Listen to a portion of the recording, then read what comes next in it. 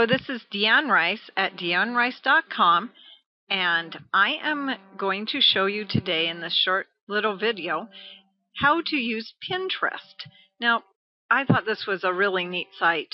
My daughter in law showed it to me over the weekend, and Pinterest is really a bookmark. It, that's all it is.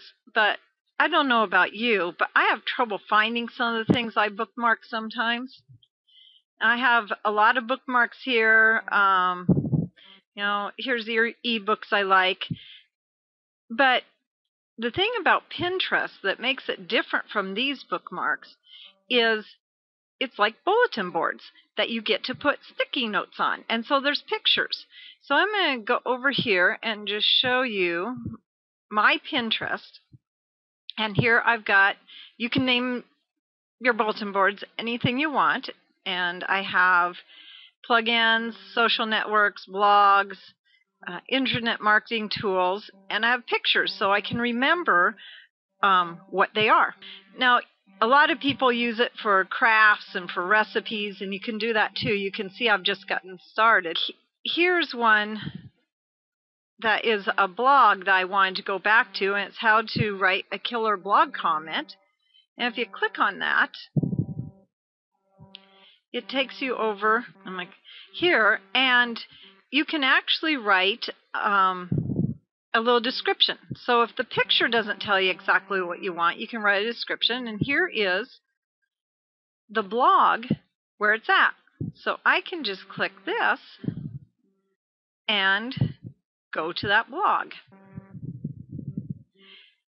So here we are at this blog on how to write killer blog comments.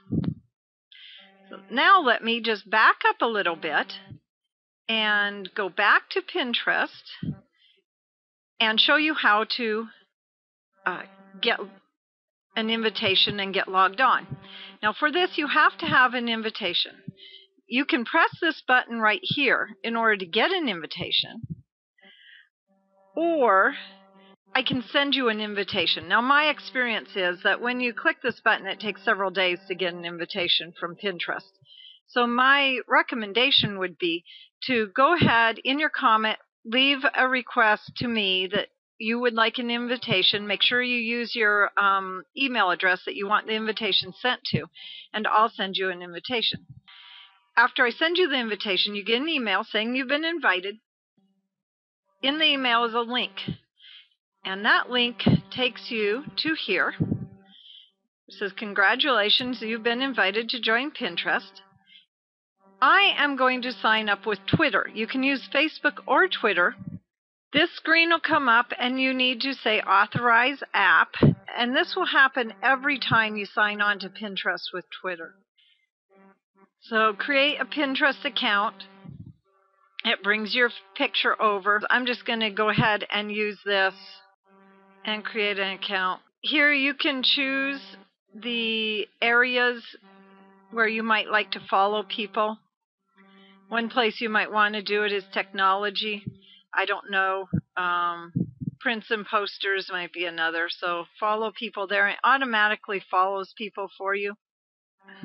You can unfollow these people anytime you want. So it's not that big of a deal. So then you go to create your boards and they already have some boards here for you. We're just going to leave those. You can actually go in and uh, say, I want this to be blogs. You can change it. Create your boards. Now, what you do is you take this. This is what I wanted to show you. You need to take this, drag it up to your bookmark bar right there, and add it. You can see I already have one. Now I have two Pinterest accounts. I'm going to delete this one. Now, when you go someplace that you want to add something, you can go ahead and start pinning. Um, but what the deal is is, say I I have let's see where is that blog right here, a Barry Wells blog. This is a blog that I wanted to go back to a post it was on um, Kindle Publishing, and I didn't do it right then, but I wanted to be able to find it, and I don't want to have to go back to his blog and scroll down or search for it and try and remember what month I found it. All you do is click on this. I like this because it shows the Kindle. Here you go. It'll let us um, drop down. I'm going to put this under blogs. Now, this is the one I just opened, so Oh, I have to put a description. I'm just going to put Kindle for right now. I might write something more if I was doing it. I'm going to put pin it. Now we're going to go to see your pin. Of course, this will be the only one I have pinned because I haven't done it on this one before. And there it is. And if I go into here, Okay, and here we see I have pinned Barry's for Barry's blog right there. Now if I click on this, showed you this at the beginning. There I go, and it says barry-wells.com, and I can just click on here and get to that post. But it's really nice because I can remember what I'm looking for, and you can go back through here and look at everything. So you can look at other things that other people have pinned. And that's kind of fun. All the different things they find all over the internet. Um, a pie recipe, banana pie recipe. There's a lot of crafty things and food recipes, but I'm going to use it for my internet marketing.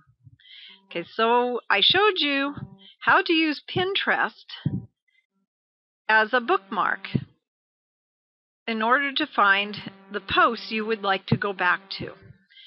This is Dee Ann Rice at deeannrice.com.